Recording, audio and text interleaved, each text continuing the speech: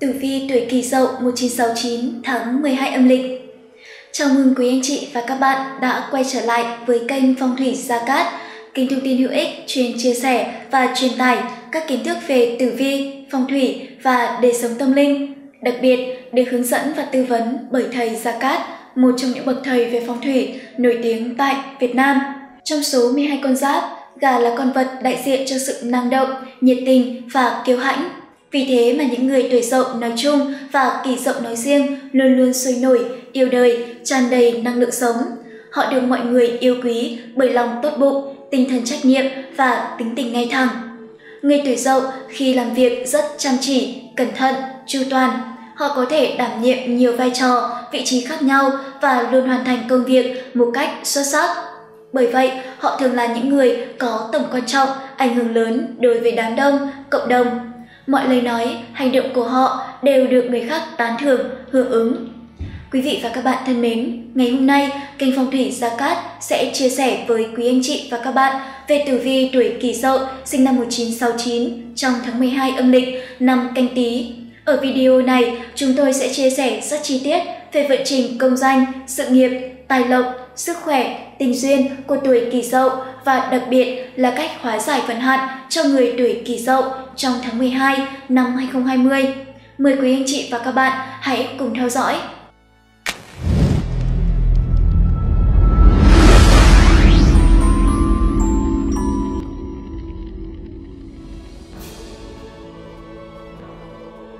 Tổng quan tháng 12 âm lịch năm 2020 Tháng 12 âm lịch được bắt đầu từ ngày 1 tháng 12 và kết thúc vào ngày 31 tháng 12, từ ngày 13 tháng 1 đến ngày 11 tháng 2 dương lịch.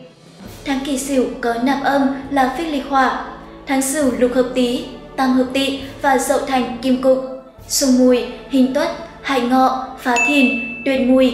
Đối với những người tuổi kỷ dậu trong tháng 12 âm lịch này sẽ cần tránh các ngày Thứ nhất là ngày âm lịch mùng 7 tháng 12, tức ngày 19 tháng 1 dương lịch có nạp giáp là Đinh Mão. Thứ hai là ngày âm lịch 19 tháng 12, tức ngày 31 tháng 1 dương lịch có nạp giáp là Kỷ Mão. Đây là hai ngày không được cắt lành khi tính theo tuổi của các mệnh chủ tuổi Kỷ Dậu. Trong những ngày này, mệnh chủ cần phải hết sức chú ý. Tốt nhất, không nên thực hiện những công việc quan trọng. Lời khuyên từ các chuyên gia phong thủy cho bản mệnh là nên chú ý tới sức khỏe nhiều hơn, tiêu tiền vào những việc cần thiết, không nên vung tay quá chán. Đồng thời, để công việc thành công, may mắn, kích công danh, tài lộc, tình duyên, các gia chủ nên sử dụng vật phẩm phong thủy, minh quang, pháp bảo. Nếu mang vật phẩm bên mình sẽ hỗ trợ tốt cho sức khỏe của gia chủ, đồng thời sẽ hộ thân, tăng cường vận khí, giúp gia chủ đón tài lộc, nhận được nhiều may mắn cả trên con đường tình duyên và sự nghiệp. Ngoài ra, còn có các ngày tốt đối với người tuổi kỷ dậu trong tháng 12 âm lịch năm canh tí 2020. Thứ nhất là ngày âm lịch mùng 8 tháng 12, tức ngày 20 tháng 1 dương lịch, có nạp giáp là Mậu Thìn, có nạp âm là Đại Lâm Mộc. Thứ hai là ngày âm lịch 20 tháng 12, tức ngày 1 tháng 2 dương lịch, có nạp giáp là Canh Thìn, có nạp âm là Bạch Lạc Kim. Đây là hai ngày cắt lành trong tháng để các gia chủ tiến hành các công việc liên quan đến xuất hành hay tiến hành những công việc quan trọng sẽ dễ có kết quả cao, hoặc những vấn đề nhỏ trong gia đình tiến hành đều hết sức thuận lợi. Ngoài ra, việc chọn lựa ngày tốt cần phù hợp với tuổi của gia chủ trong những công việc như tiến hành động thổ, ngày giờ mua xe mới, ngày giờ cưới hỏi. Để chọn được ngày giờ đẹp phù long tương chủ, ngày giờ tài lộc của gia chủ, anh chị và các bạn hãy để lại thông tin trong khung bình luận hoặc liên hệ trực tiếp tới số hotline của chương trình để được các trợ lý hỗ trợ. Tổng quan tử vi tuổi Kỷ Dậu 1969 trong tháng 12 âm lịch.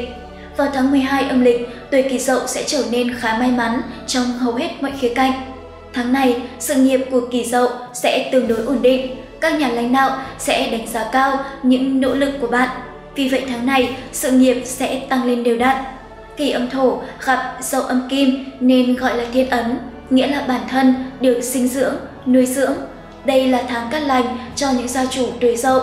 Nếu có cơ hội tốt, cần phải nắm bắt, sẽ có tài lộc, sự phát triển đang chờ đợi ở phía trước. Trong tháng này, các gia chủ kỳ dậu sẽ cần chú ý ngày âm lịch mùng 7 tháng 12, tức ngày 19 tháng 1 dương lịch, có nạp sát, là đinh mão đây là ngày không được cắt lành khi tính theo tuổi của các mệnh chủ tuổi Kỷ Dậu trong năm tuổi Kỷ Dậu sinh năm 1969. Trong ngày này, mệnh chủ cần phải hết sức chú ý, tốt nhất không nên thực hiện những công việc quan trọng như nhập trạch, động thổ, tiến hành hợp tác, làm ăn. Nếu muốn tiến hành, cần tham khảo kỹ càng ý kiến từ các chuyên gia phong thủy. Để may mắn và thành công, các gia chủ kỳ dậu nên mang bên mình pháp khí phong thủy, minh quang pháp bảo. Minh quang pháp bảo được coi là vật phẩm hoàn hảo, chứa đựng linh khí trời đất, được hội tụ bởi những tinh hoa, Phật pháp cùng sự chắt lọc những tinh túy, linh thiêng của đất trời, chứa nguồn năng lượng, xua tan được tà ma. Đây chính là những nghiên cứu được các thầy trong Hiệp hội Phong thủy Tâm linh Việt lồng ghép vào trong đó. Về sự nghiệp, trong tháng 12 âm lịch, Tử Vi nhắc nhở tuổi Kỷ Dậu cần phải thận trọng kẻo gặp họa tiểu nhân. Công việc của quý gia chủ đang trên đà tiến triển tốt, vì thế mà có thể bị nhiều cái xấu nhằm ngó. Tuổi Kỷ Dậu sẽ gặp khá nhiều may mắn trong hầu hết mọi khía cạnh. Các nhà lãnh đạo sẽ đánh giá cao những nỗ lực, vì vậy sự nghiệp trong năm nay của bản mệnh sẽ tăng lên đều đặn. Sự phát triển ổn định của sự nghiệp sẽ mang lại may mắn và tài lộc. Các khoản đầu tư và thời gian rảnh rỗi cũng sẽ tăng thêm thu nhập. Tuy nhiên, quý gia chủ cũng không thể quá ngông cuồng và lãng phí. Trong mối quan hệ, quý gia chủ có thể cãi nhau với bạn tình về một số chuyện nhỏ. Do sự nghiệp của bản mệnh có những bước tiến rõ ràng trong khoảng thời gian đầu tháng. Tuy nhiên, quý gia chủ sẽ phải tham gia vào nhiều buổi tiệc tùng, tụ tập. Vì thế cần phải giữ đầu óc tỉnh táo, không để ảnh hưởng tới chất lượng công việc. Ngoài ra bản mệnh cần phải thận trọng trong từng bước đi, tránh việc bốc đồng, sốc nổi hay chủ quan, thiếu chỉ chu trong công việc. Nếu không, sẽ bị tiểu nhân lợi dụng, sơ hở mà lấy mất vị trí của mình. Để không bị tiểu nhân ám hại, cản con đường công danh, sự nghiệp, tài lộc, những gia chủ tuổi kỷ dậu nên mang bên mình pháp khí phong thủy, minh quang, pháp bảo Minh Quang Pháp Bảo được coi là pháp khí hiệu quả nhất hiện nay, có tác dụng kích con đường công danh và tài lộc hiệu quả, giúp các gia chủ chốc thời cơ, nắm cơ hội thành công. Minh Quang Pháp Bảo cũng là pháp khí của nhà Phật, được ra đời trên nền tảng chất lọc những tinh hoa, trường khí tốt, giúp vạn sự hanh thông, tốt lành. Đồng thời, pháp khí cũng là vật phẩm hỗ trợ, kích đào hoa, tình duyên hiệu quả cho các gia chủ tuổi kỷ dậu về tài lộc. Xem tử vi tháng 12 âm lịch, tuổi kỷ dậu không cần lo lắng quá nhiều về con đường tài lộc.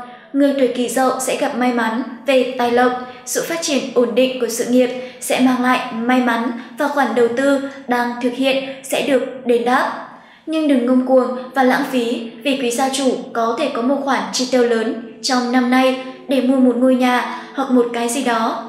Hơn nữa trong thời điểm này, cơ hội tài lộc khá nhiều, bản mệnh nên chú ý để nắm bắt thời cơ, chớ nên để cho thời cơ trôi đi quá nhanh mà bản thân còn đang mù mờ về bước đường phía trước.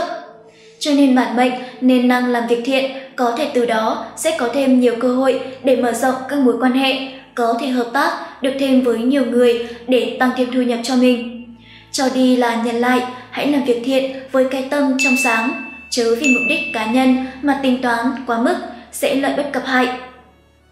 Để thành công và thuận lợi, những gia chủ tuổi Kỷ Dậu sinh năm 1969 cần mang bên mình vật phẩm phong thủy vòng tam giác khai vận, tỵ, dậu, sửu của kênh phong thủy Gia Cát. Vòng được hầu hết các thầy phong thủy sử dụng làm vật phẩm hộ thân, chiêu quý nhân, hóa giải thị phi, tiểu nhân ham hại và là vật phẩm phong thủy cực kỳ hiệu quả trong việc kích tài lộc cho gia chủ. Về tình cảm và gia đạo, Chuyện tình cảm của tuổi kỷ dậu trong tháng 12 âm lịch có dấu hiệu phát triển khá tốt đẹp. Người độc thân chinh phục được ánh mắt của bạn khác giới trong những buổi tụ tập bạn bè nhờ bản tính cởi mở và hài hước của mình. Bản mệnh sẽ quen được những người bạn chân thành, có cơ hội tìm được người như ý muốn. Còn với những người tuổi kỷ dậu đã có gia đình thì bản mệnh cần giao tiếp nhiều hơn với bạn đời và lắng nghe nhau. Trong tháng này, gia đình cũng sẽ gặp những xích mích, cãi vã, tranh luận giữa bố mẹ và con cái. Là người chủ gia đình, hãy giữ bình tĩnh. Quý gia chủ cần tìm lối giải quyết vấn đề tồn động một cách thấu đáo nhất, tránh làm sứt mẻ tình cảm gia đình. Khuyên gia chủ tuổi kỳ dậu trong tháng 12 âm lịch nên sử dụng pháp khí phong thủy Minh Quang Pháp Bảo. Minh Quang Pháp Bảo là pháp khí của nhà Phật được ra đời trên nền tảng chất lọc những tinh hoa, trường khí tốt giúp vạn sự hanh thông, tốt lành Pháp khí sẽ giúp hóa giải thị phi, hóa giải mâu thuẫn và tăng cường các mối quan hệ. Về sức khỏe, tuổi Kỷ Dậu sinh năm 1969 sẽ có sức khỏe tốt trong tháng 12. Sự nghiệp trôi chảy, cảm xúc ổn định và tập thể dục thường xuyên sẽ góp phần tạo dựng một nền tảng sức khỏe tốt. Nhưng quý gia chủ phải tránh rượu và thuốc lá. Năm nay, sự giao thiệp xã hội gia tăng có thể yêu cầu quý gia chủ uống và hút thuốc nhiều hơn. Cho dù sức khỏe có tốt đến đâu, hút thuốc và uống quá nhiều cũng có thể phá vỡ cơ thể.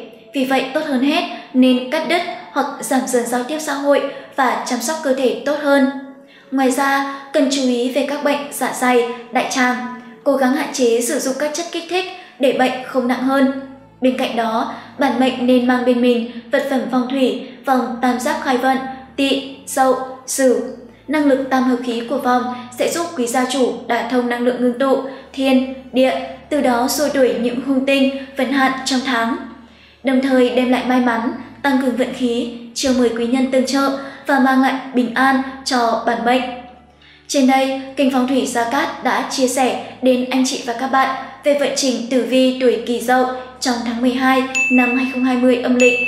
Để may mắn thành công, các gia chủ nên mang bên mình pháp khí phong thủy, minh quang pháp bảo. Minh quang pháp bảo được coi là vật phẩm hoàn hảo chứa đựng linh khí trời đất, được hội tụ bởi những tinh hoa, Phật pháp cùng sự chắt lọc những tinh túy, linh thiêng của đất trời, chứa nguồn năng lượng, xua tan được tà ma. Đây chính là những nghiên cứu được các thầy trong Hiệp hội Phong thủy Tâm linh Việt lồng ghép vào trong đó.